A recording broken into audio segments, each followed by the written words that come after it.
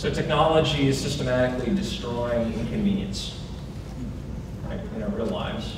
I came over here on a Lyft. And I picked up my phone, I said where I was going, it knew where I was. It told me that Jeremy was going to be there in his red Hyundai on, uh, in this many minutes. He was a little late, but I could see that he was stopped in traffic. Right? This is what it used to be. Remember this?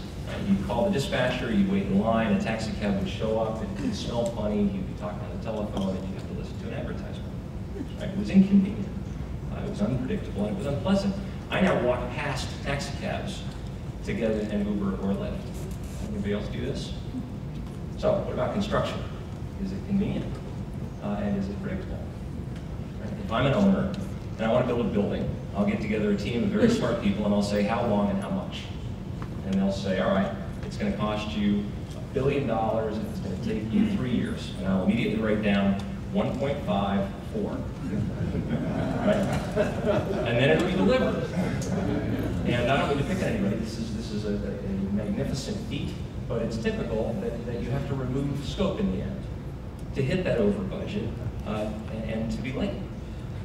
So is this the way that things are going to continue to be? Why should it? You know, you've seen tons of things today, incredible technologies being developed. What we have to do is we have to better simulate the building. We have to collaborate better so that we have the right design, right? And then we have to rehearse. This is how the building is going to be so that it's perfect, right? We know exactly what's going to happen, exactly when it's going to happen, and then of course the shovel is going to hit the dirt and everything's going to change. So cost of things are going to, are going to change, availability of subs are going to change, somebody's going to place a giant rebar order and won't be available anymore. So we have to have an adaptive system, right, where the model is parametric, parametrically designed, where the entire environment is parametrically designed. Right, so if, if I have to make a shift, it shows up on the guy's AutoCAD file, and the other guy's Tekla file, and Revit, and in the spreadsheet all at once, real time. Right. Third piece is this data has to be uh, organized in such a way that we can learn right, along the way. So we can learn on the second floor what happened on the first floor, on the second building what happened on the first building. If we're pulling this data together and organizing it, then it can start telling us problems sooner, we can solve them faster. But people tell me this can't happen in construction, right? We don't work well together, we sue each other, uh, there's legal issues, my attorneys won't allow me to do it, and, and I think all of that is true. And I think all those reasons are why it is not going to be a stuff it down your throat solution. Everybody's got to do this. I know it's working to a degree in Singapore and London, and I think that's terrific, but I think this is the right answer. We're going to connect information. We're going to let people use the tools that they want to use. We're going to let them share what they want to share, and not what they don't want to share, in an open, neutral environment, right?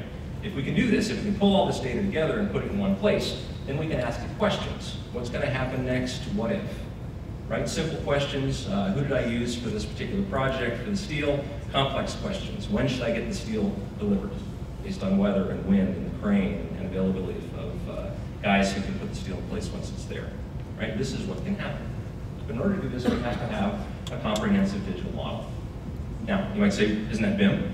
And I think BIM is a big part of it.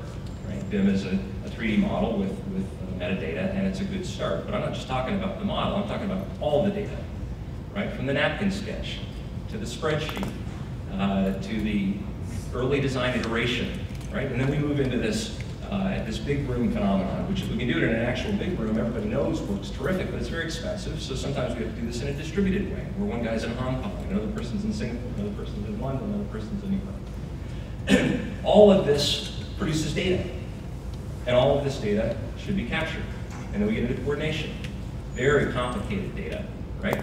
And there are multiple versions of this thing, right? All of this is just data. It's just ones and zeros, right? All of it should be stored if we want to get down that value out of the data. And then, of course, there is communication, right? So there's structured communication, uh, forms that we fill out, uh, emails that we send around. Uh, there's unstructured communication. Uh, there's new forms of communication. You know, I can pull my phone up and take pictures on the site. I can use Tango. I can draw on it. There's all sorts of new sources of communication information. All this should be stored in this comprehensive digital building model, right? And then we've really got something.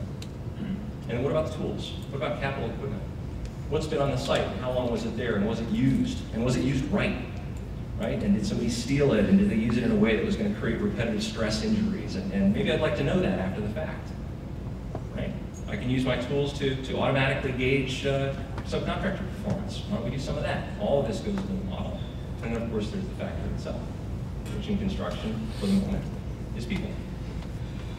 Who was there? When were they there? What did they do? How did they perform? This is important information. If we can get it in one place, can organize it properly. And then what about sensors? Right, sensors are cool. We're hearing a lot about that. I can throw sensors in concrete now, and it can tell me if it's cured properly. I can wrap it around the rebar, and I can find out if there's water infiltration. I can, do all sorts of stuff with sensors in the course of construction, but what about after construction? Right? There's sensors that, that tell me about the operation of the building. Well, that's when it gets really cool. Because if I have this, this large-scale digital model of the building, the digital twin, the smart twin, the twin with a really good memory, then it's useful to me for the entire duration of the building, from the sketch to the wrecking ball, all the way through. So, we think it's going to happen. We think it's inevitable that it will happen in construction, large-scale new construction projects. It'll happen in large renovations. It'll move down to people with large uh, real estate portfolios, and then it will go to houses, and then it will go to remodels, and then every building will have some. This is where we think it's going to go, and that's what we're building. So we're going to organize the data in buildings the way that Google organized the data in websites. We're going to make that data more easily accessible. We're going to make that data more valuable so that you can be more predictable and build better buildings.